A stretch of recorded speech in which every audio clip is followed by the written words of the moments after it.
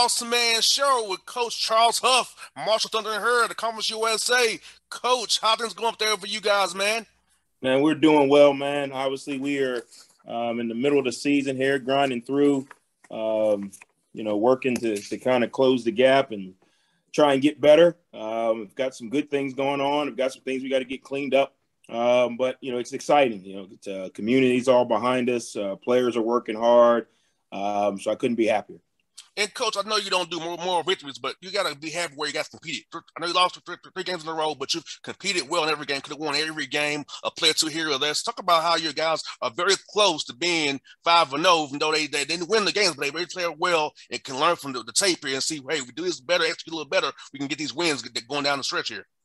Yeah, and I think the word you use is exactly you know what we are. We're close, um, and and you know when you're close to anything, you know it's the little things that make the difference. And I think sometimes um, as players, coaches, and, and you know and, and, people in general, um, you you devalue the little things until it catches up to you when it catches up to you.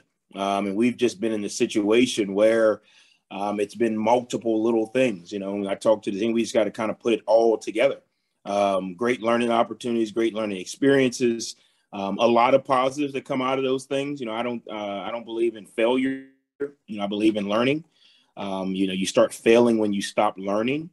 Um, and I think our team is learning, and I think we're putting ourselves in position um, to clean up those things and, and, and be able to build on them moving forward it's uh, it's your, being your year one for you there, you know, building your culture. Guys can see how you handle adversity as, as a coach and your staff, and it can help them get in their in their brains. Okay, we saw coach handle these things. He wants to learn. We're not feeling here. It's about getting better every day. So I feel like your guys are in a great spot because your your mindset. And I've watched you guys on film. You got guys compete hard. So it's not like you're not playing hard. It's just like little things here and there. But I feel like doing this in year one, it'll set the standard for going forward from two, three, four, no, no, all, all the rest of the time you're there up in Marshall, yeah, coach. I think I think the biggest thing is like you said, you, when you're building a culture, it's a process. It's not a switch. You know, anytime you if, if I was, I don't know who, who won the Super Bowl last year, Tampa Bay Buccaneers. If I took over the Tampa Bay Buccaneers and just came in and did the exact same thing that that you know the old coach did, even then it still takes time. You know, I think anytime you have different relationships, different nucleuses, um, this team is 100% different than last year's team. I think a lot of people sometimes think, oh, they returned a lot of starters. Well, these guys are a year older. There's people that have moved on. Their people lives change. Um, so any team you have, whether you've been in a place, you know, Coach Saban used to say it all the time. You know, we've been here in Alabama for a long time, but every team is different. So every team takes time to kind of work through the things that they need to be able to work through, to grow together, to work together. And it's magnified when you have a brand new coaching staff. You know, it's new relationships, um, new expectations. Um, but I think the guys have done a phenomenal job of, of buying into what we're asking them to do. Um, and buy in does not mean fully understanding. Buy in means I'm going to try to do what you say do, even though I may not understand it. Culture comes when they understand why you're asking them to do what you're doing. Um, so I think we're getting to that point how has it been, coach? You know, meeting all your your players new and then know learn, learn, learn your new team. I feel like I have fun I get new interns, coach. That's my fun part. Getting to learn about new interns, learn how they operate, learn about them personally. So how's it feeling know, to learn these guys who you took over and they, they know that you're that you're their guy. Like you chose them. It's like I know some guys like, well, you I you don't recruit me, but you I chose you guys. How's that been for you and your staff, man? I, think it's been great. You know, I think you know we, we are we are intentional about being relational. You know, I think that's the key. I think building a relationship before you before you can motivate or before you can you know direct anyone, you got to build a relationship. Um, and, and I think sometimes you know people forget that that takes time. You know, we're talking about young men and women in our program because you're building with the entire organization, not just the players, but the assistants and the you know staff. And and and it takes time to build relationship because the relationship is built over trust. Trust is built over time tested events. You know, so how can I trust you if, if you've never been put in a situation for me not to trust you? So some of those things take time. And I think as we continue to grow, I think our players know that we have their back. I think our players know that, yeah, we coached them hard. Yeah, we worked them hard, but we're ultimately doing it for their success um, or their benefit. Um, so it's, it's been good, you know, and obviously, you know, over time, each each season changes. When I say season, in the spring, you know, you're learning your players, but there's no pressure of a game. You know, in, in the winter, you're learning your players, but there's no pressure of a game. But then you get in the season, you know, it's a different learning. You know, people react different when they actually are on the air with you than when they're talking behind the scenes. And you know, so there are different there's different phases that you got to kind of work through and get to know each other. Most definitely, coach. And I feel like this coach with your mindset, how you setting that standard for your young men. That the mental health piece is so important for young men a coach. I feel like you know having a young guy like yourself can relate to him. Still, you're not you're not like me and you about the same age. We, we can't relate to these guys still, you know, because we got too much of an OG. We still we got some age over us, though. So I feel like so how have you approached their mental health and development and growing them as young men off the field as well, coach?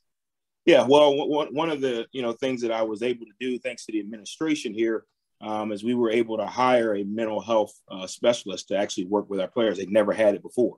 So just imagine if you know take a take a cancer patient, and this person has has has had cancer for the last four or five years, and they've never been able to get treatment. But then you come in and you present chemo. Well, you still it takes time for that chemo to work, you know. So when we got here, that was something that I'm big on. I believe in um, and our players have that resource now and they're learning how to use that. It's helping them become better. Um, you know, these are the things that people don't see when you lose three games in a row, which I fully understand what my job is. But our players are getting better. And I'm not talking about X's and O's. I'm talking about, like you talked about, mental health. You know, we've had guys with issues. We've had guys come in the office and say, Coach, I never felt I could talk to anybody about this. Coach, I never even knew this was something that I could get help with. To me, those are the small victories that ultimately will show up on the field you know, and that's why I say it takes time. It's not a switch where all of a sudden I come in and I tap everybody on the head and we go win, you know, 18 national championships. It's not how it works. Um, but as those players start to unwind or unravel some of the craziness that's going on in their head and have support, as they start to build trust, well, then their on field performance will start to be more consistent. It's hard to go out and perform on Saturday with people yelling at you when you're thinking about, you know, mom being homesick or your girlfriend called you last night and she was arguing with you, or you felt depressed this morning, or you feel like if you don't make this play, the world's going to end. You know, you don't believe in yourself because you dropped this ball in practice. A lot of that stuff matters, you know, and a lot of a lot of people don't really think of that. But as a head coach, you got to manage all of that. And Coach Huff, that's why I try to go, use my show to show the listeners here that hey, it's more than X's and O's out here. It takes more oh, than oh, just yeah. the X's and O's. You, you, gotta be father figure, the brother, the counselor. You know, you gotta wear a lot of hats as the head coach and as yeah. a assistant coach as well. So everything you do, the X's and O's is just the fun part of it. But it's the other part off the field, those, those other 21 hours a, a, a, day that you're not on practice field is where it really matters when, uh, what your job is, what you get paid for.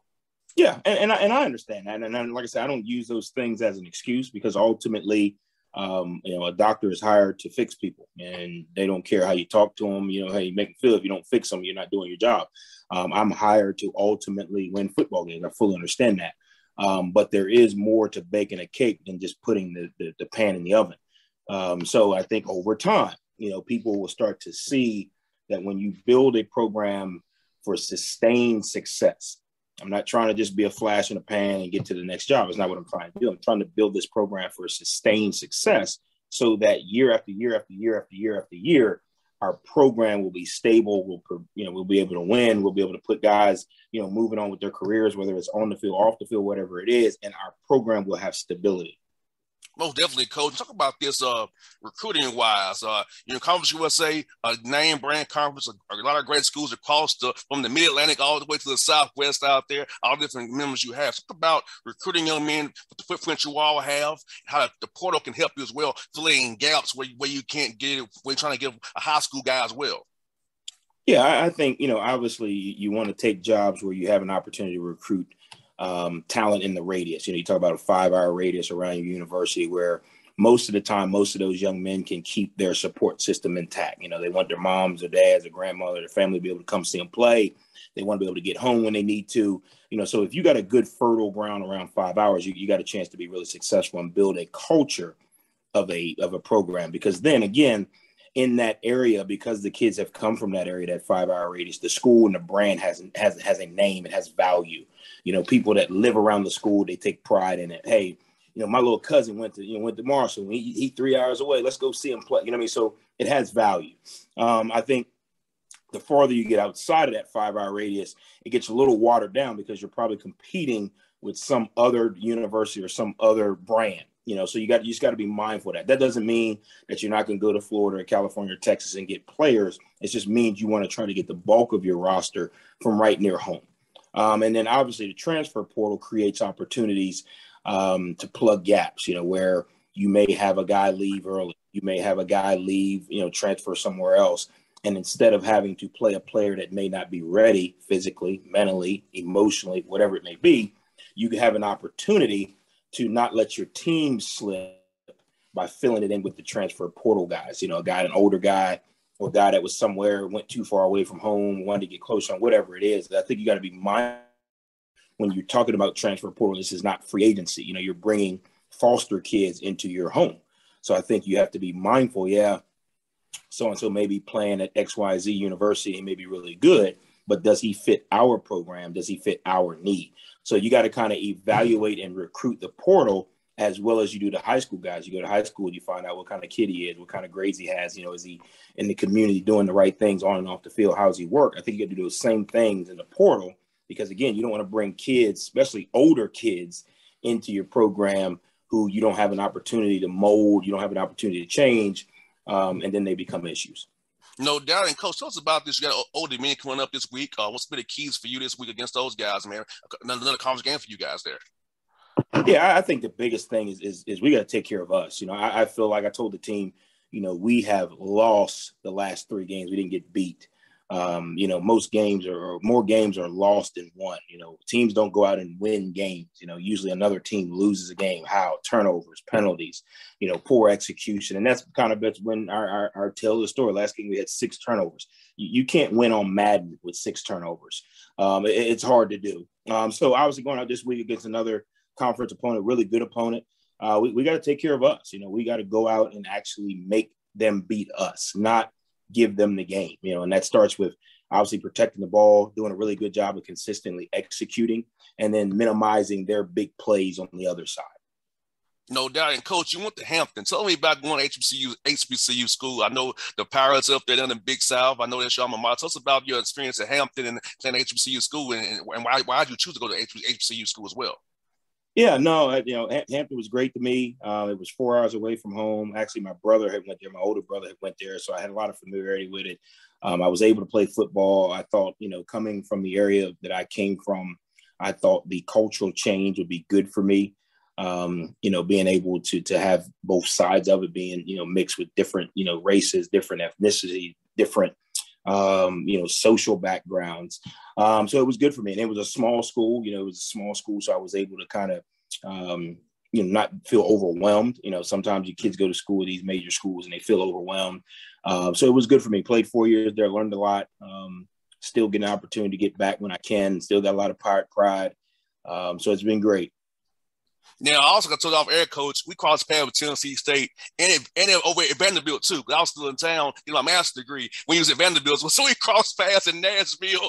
Yeah. we didn't know at the time we was at the same time. So tell us about Tennessee State, Mama Mater. If really you coached there for a few years there and land to go to Sunshine over there on John A. Merritt, man. Yeah, it, it, was good, man. It was my first opportunity to start coaching, um, and I thought I knew everything and knew nothing. Um, and, and and to be able, I actually was coaching guys that were older than me.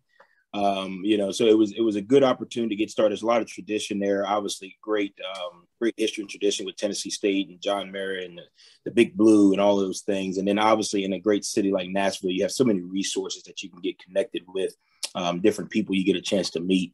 Um, also spent time over at Vanderbilt. That area of the country to me is, is my favorite area of the country. Um, you know, if I when I vacation, I try to spend a couple days in Nashville. It's just so much to do.